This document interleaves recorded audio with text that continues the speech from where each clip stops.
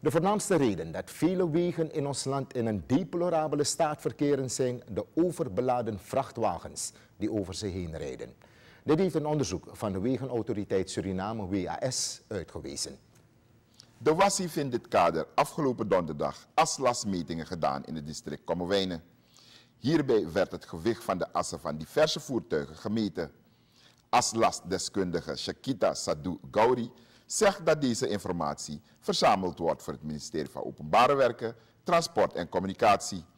Het ministerie is namelijk bezig zijn beleid op dit gebied aan te scherpen.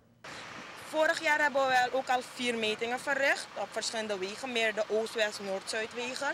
En daarbij hebben we gezien, hebben we ook uh, gemeten, waarbij een van de aslas 23 ton is. Dus ja, u, ziet, u schrikt van al die tonnages wat u meet. En en het is te zien aan onze wegen. Dat onze wegen, nieuwe wegen, ook aan het deformeren zijn. Je ziet al spoorvorming en dergelijke. Dus het verklaart veel. Dus eigenlijk zegt u dat, het, dat de uh, wegen kapot gaan door overtreding van uh, de toegestane tonnages? Ja, klopt. Uh, over belasting van de, dus dat de vrachtwagens overbelast zijn. Dat zorgt ervoor dat onze wegen kapot gaan. Dat is de groot, zij zijn de grootste boosdoener momenteel. Niks anders. De nieuwe wegen, ik bedoel, kijk, iets van 13 ton. Heeft al spoorvorming. Reden waarom we vandaag hier aan de noordelijke zij, uh, rijbaan zijn, geeft al, geeft al aan dat er heel veel schade zijn opgetreden. We kunnen niet op de zuidelijke baan zijn omdat er daar al spoorvormingen zijn. En de weegplaten moeten op een egaal uh, geplaatst worden. Doen we dat niet, gaat die breken.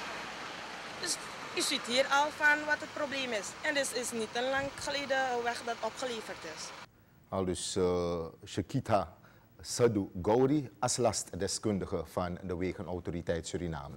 We spraken haar in verband met aslastmetingen die afgelopen donderdag zijn gedaan in het district Kommerwijnen. Onderzoek wijst namelijk uit dat vrachtwagens vaak het voorgeschreven gewicht overschrijden. Dit is volgens Sadou de voornaamste reden van de slechte wegen in Suriname. Binnenkort zullen ook aslastmetingen verricht worden en wel in het district Saramaka.